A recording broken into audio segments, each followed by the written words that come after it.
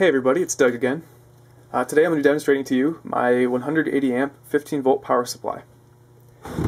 This power supply is completely custom built. It's a rewound microwave oven transformer and for comparison this over here is what it sort of looked like when it started out. As you notice this is a step up transformer stepping up the 120 or so of the outlet to up to 2000 volts and this one has been rewound. Basically I chiseled off the primary, like the, or the secondary.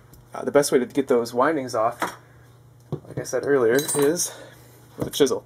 You simply just put it up against the windings, smack it a few times, and you'll cut right through all the copper, and then you can push it out.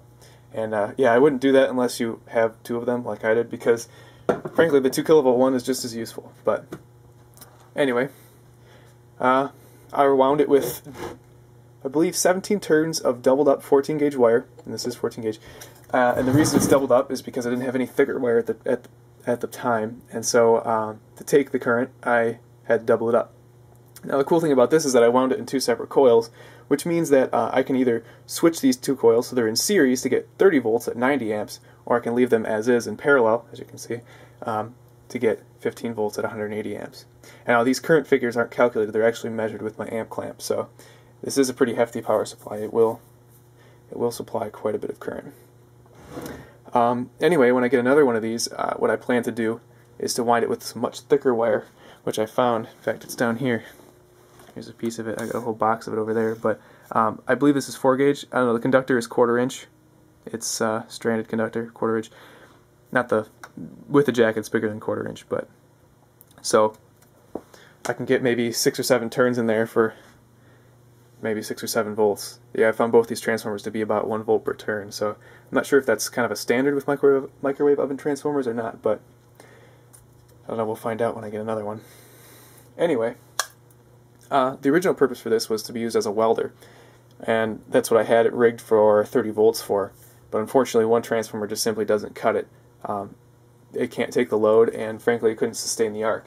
Uh, these electrodes I used, I don't know, maybe they're too thick, but they're uh, 330 seconds, the E6013, just standard AC welding electrodes, general purpose, and they didn't work, so I don't know if I should have gone thinner. I don't know if they even make anything thinner than 330 seconds. Maybe they make eighth. I'm, I'm not quite sure, but anyway, further experiments to follow with that. But what I currently use it for is the power supply to me to my oxyhydrogen generator, which uh, basically electrolyzes. It's a big electrolysis cell to electrolyze water into hydrogen and oxygen gas mixture and then uh, that mixture is then sent to a torch head and burned, uh, where it burns pretty hot. It's uh, about 400 degrees cooler, or the, adi- the adiabatic flame temperature is about 400 degrees cooler than that of water, but that's for another, or than that of oxyacetylene, but that's for another video entirely.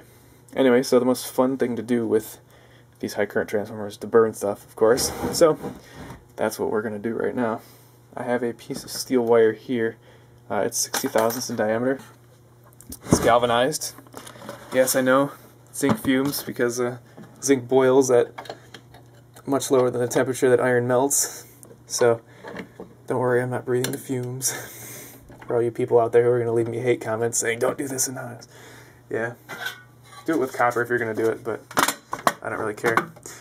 Anyway. Plus this place is well ventilated. Uh, so yeah, I put the steel sheet down so it doesn't burn my workbench. This is my bridge wire. Make sure it's in there nice and tight. All right, and uh, let's turn this a little bit so the camera can see it better. Okay, um, I'm to turn the lights off, and I'll turn the power on on a count of three. Okay, the lights are off. Three, two, one.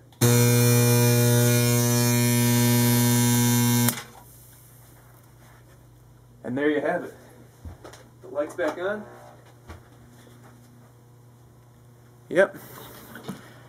One piece of burned through steel wire. Melted right through.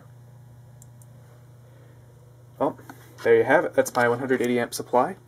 Stay tuned for my uh, oxyhydrogen torch project, which is actually pretty cool. Unfortunately, it takes a bit to set up, so I'm going to have to do it when I'm on break from school, so it might be around Thanksgiving when I do that, but hopefully I'll get some other videos in by then. Anyway, subscribe, rate, comment. Thank you very much for watching, and I will see you in the next video.